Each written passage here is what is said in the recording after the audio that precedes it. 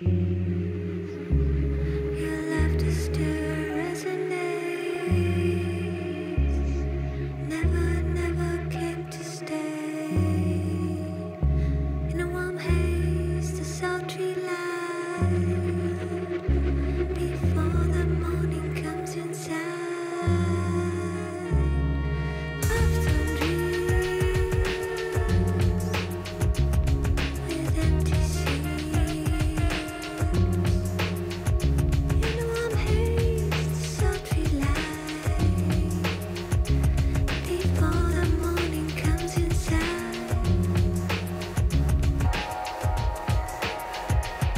Hi, this is Massimiliano Pagliara. Welcome to my studio. I'm here and I'm gonna show you some of my favorite toys since I was just playing on my SH101, which is the very first synth that I bought back in 2006 when I started uh, with music production.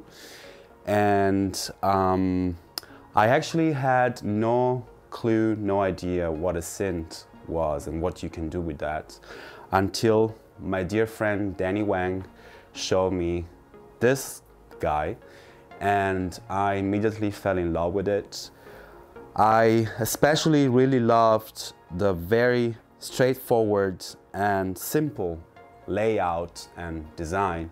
When I decided to make music, I went and on eBay basically and uh, looked for uh, machines. And this is the very first one I, I bought followed by some other guys that you can see here. Um, for example the Juno 106 which was my first uh, polysynth and both of them I've had since the very beginning and I use them pretty much all the time.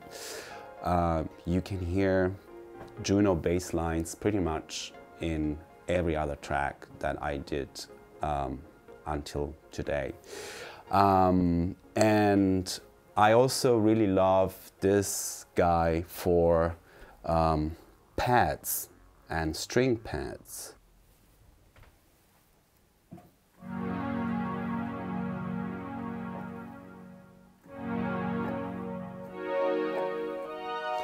So yeah, really beautiful, warm, lush pads that you can hear also um, pretty much in every track that I do because I love pads.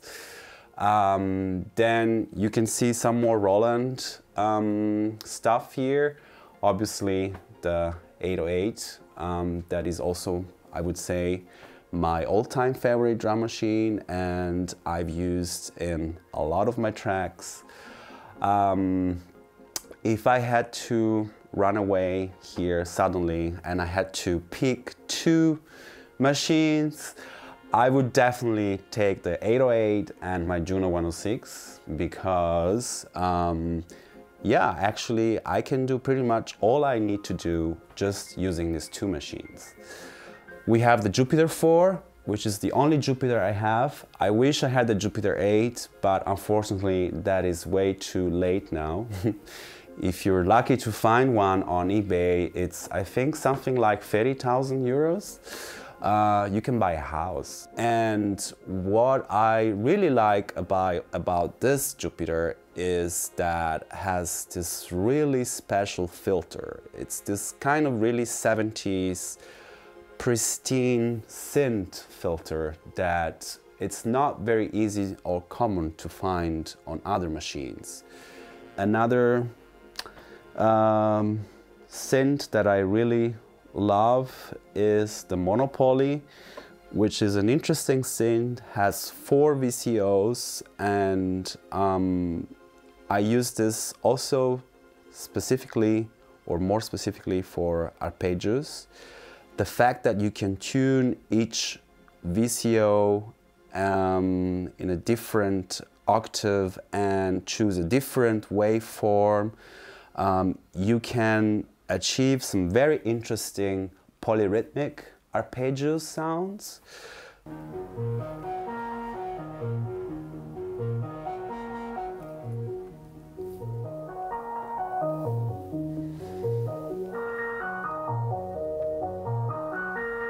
So now we have all the four VCOs together in uh, up and down two octave arpeggios. And each VCO is a different waveform and a different octave.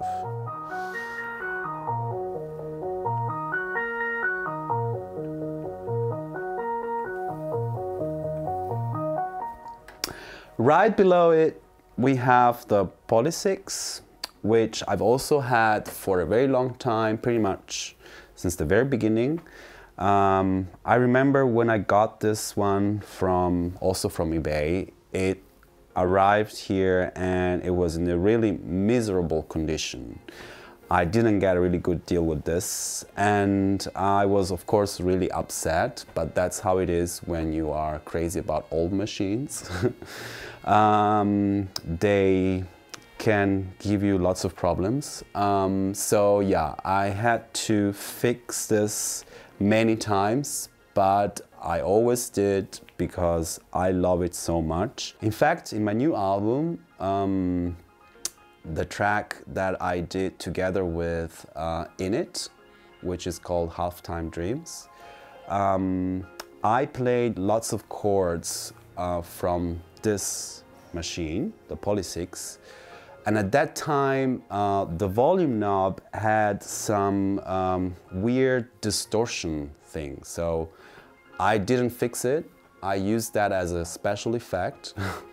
So, um, and you can hear that in my new track with in it. Then of course we have this little bist here, um, which is the Minimoog. And um, yeah, this is something that of course I've been using also mostly for bass lines. And I mean, that Moog bass, you know, doesn't need much of the script.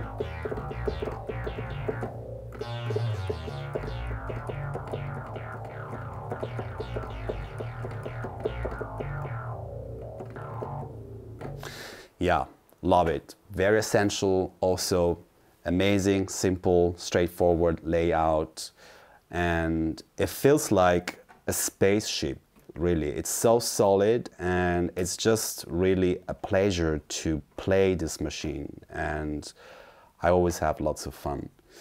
Um, and then we can move over here and this is also another little baby.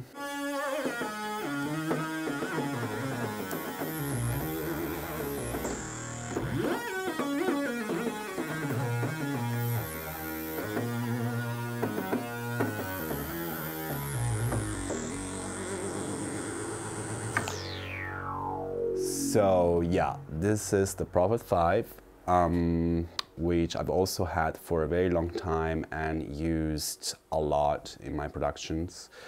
It's one of the sexiest polysynths ever made, I think. I love the design, I love to touch this thing. And actually I used to have the old one, um, but then I sold it and um, by mistake. And then bought the new Prophet 6 that um, Dave Smith issued a few years ago.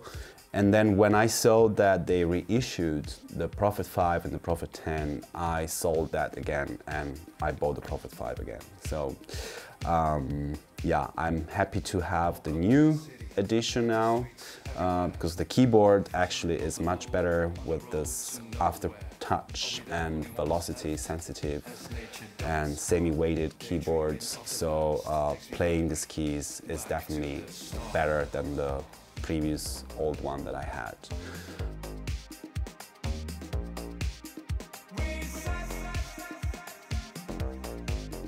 Right now we are here in my bedroom and where I also have two more listening setups. Uh, this one here is a German manufacturer, Kuche, that actually doesn't exist anymore uh, from the early 80s. This is sort of like my meditation spot, so I come back here because sometimes my studio is way too uh, busy with all these machines and I need to come down. We can go over there so you can see also my Pioneer HPM 100 loudspeakers. A four-way loudspeakers from the early 70s that I've been looking for a very long time and finally found them in really great condition and I'm very happy and um, this is my DJ setup.